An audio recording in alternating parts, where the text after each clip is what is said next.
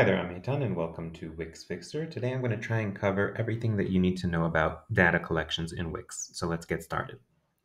Okay, so first thing, let's talk about how you would add a data collection to your website.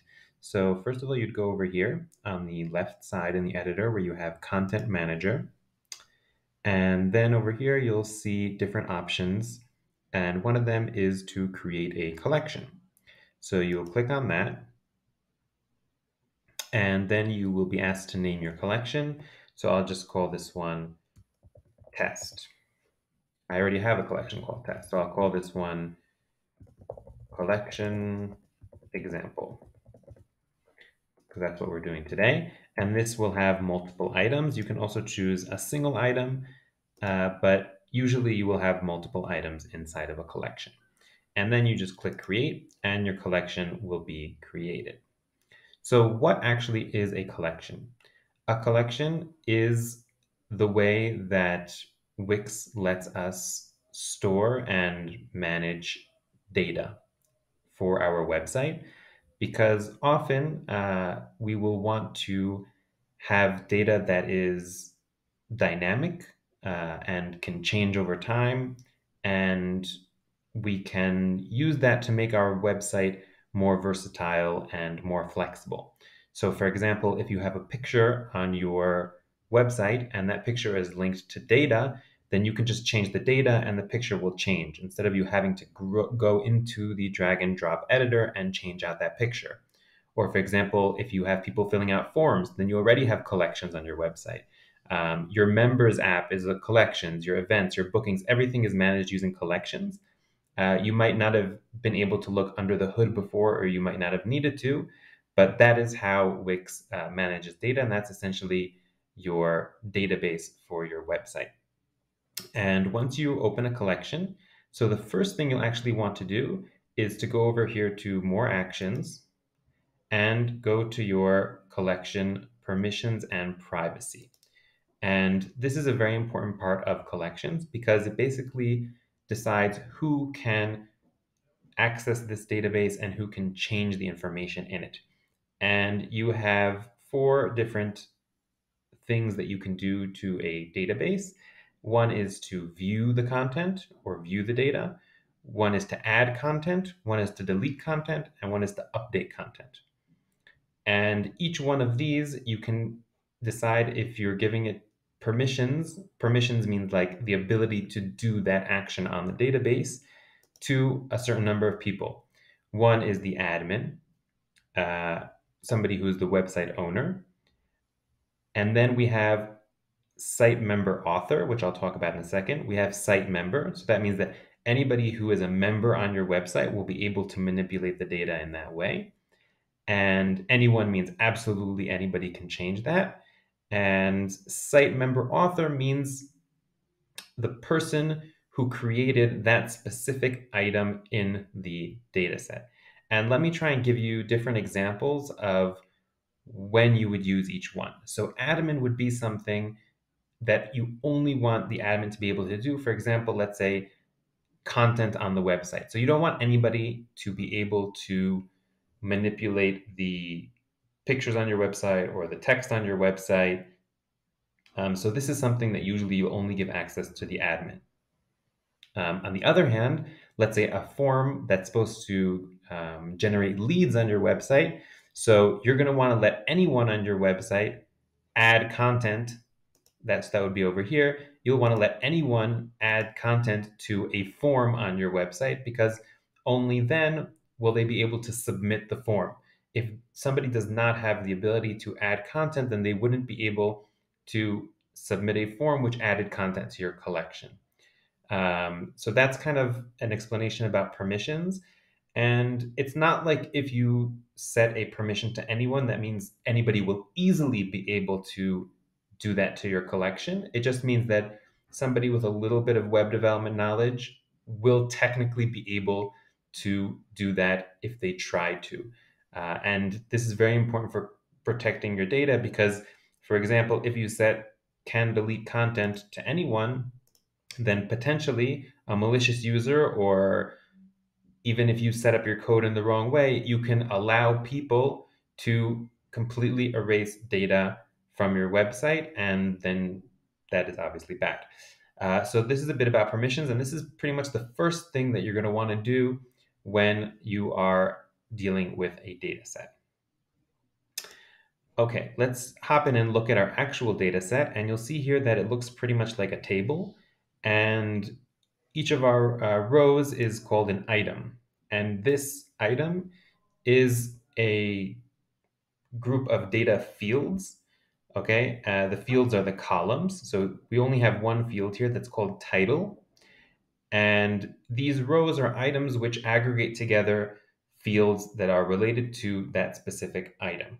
Okay, so for example, this title could be somebody's name, let's say John, okay, and then I can add another field by clicking this plus button over here, and I'm prompted to select a field type.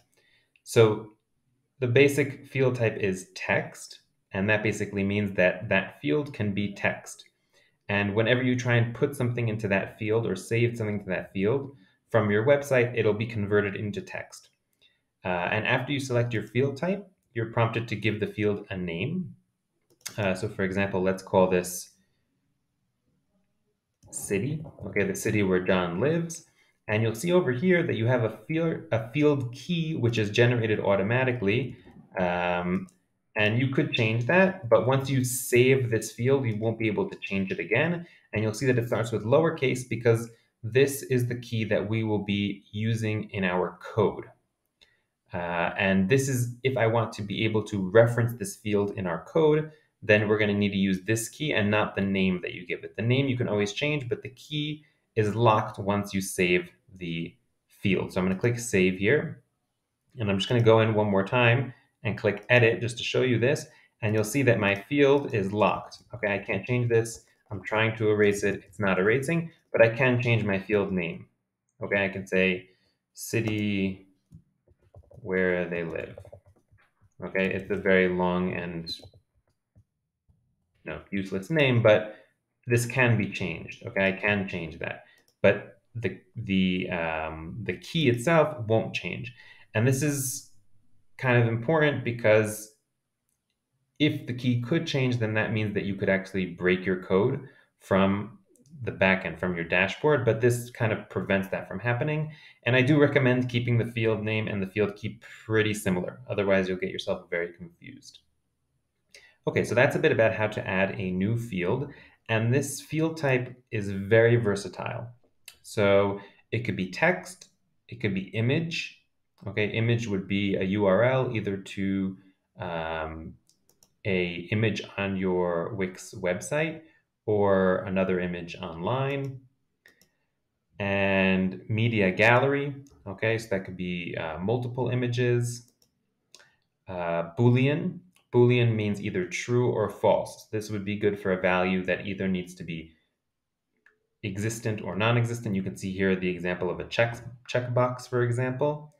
Um, and different data types will be the correct data type to for a field that's linked to a certain input, for example. If you have a text input, then the field has to be text, otherwise you'll have some issues.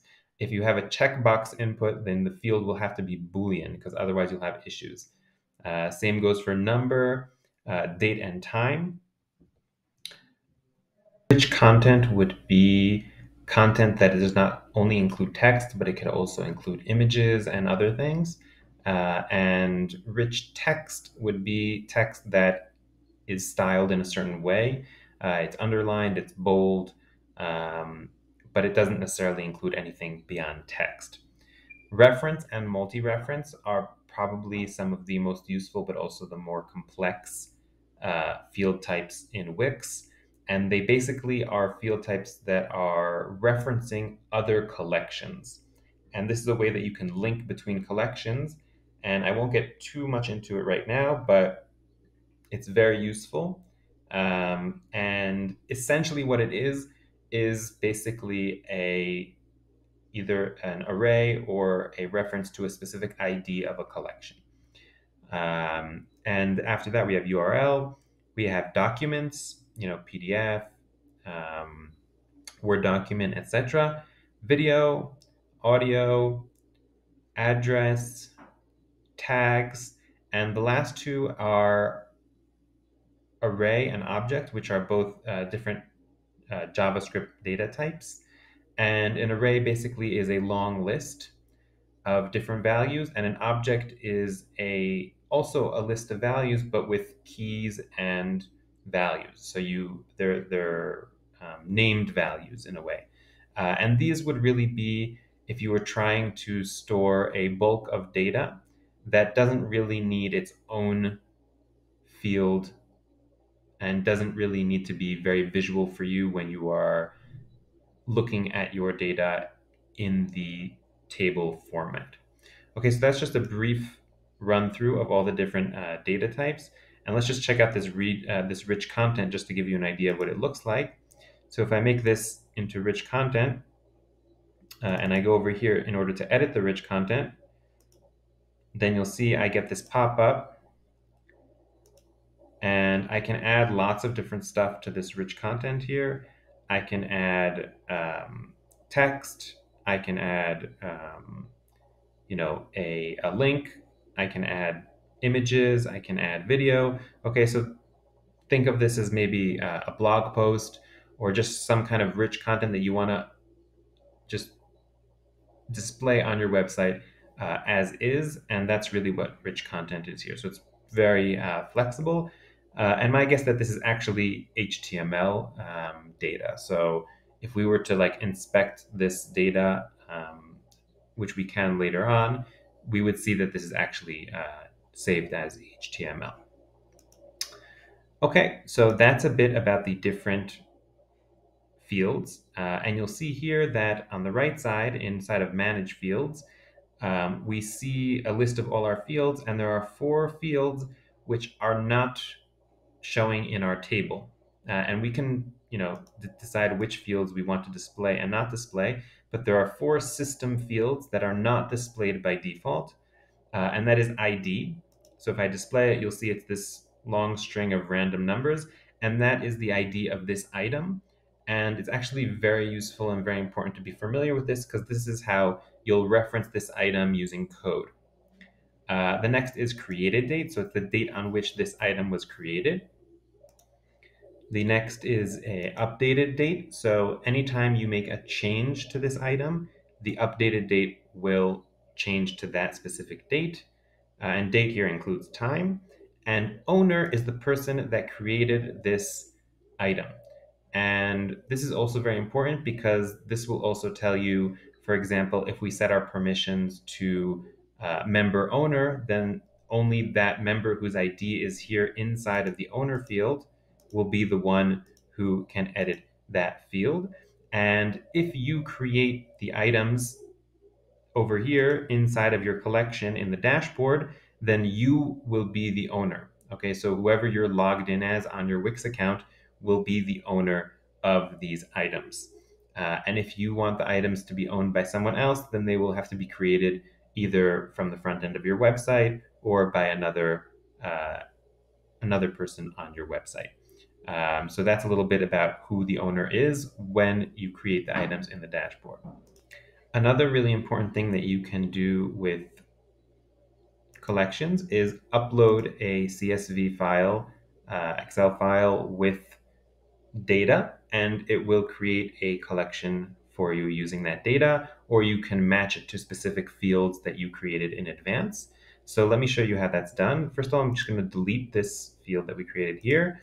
And title, I have to leave because you always have to have at one least at least one field, which is the primary field. You can see it's marked here by a small flag, but I will delete these two items that I have in the collection. I'm going to close this manage field thing on the side, and I'm going to go to more actions, import CSV. And I'm going to import, uh, sorry, I clicked accidentally on export content to a file. So that's also something that you can do. Uh, if you have a collection, you can export it all out to a CSV. But what I wanted to do was to import a CSV, and that's here. That's, sorry, this top one, import items. So I accidentally clicked here on export to CSV.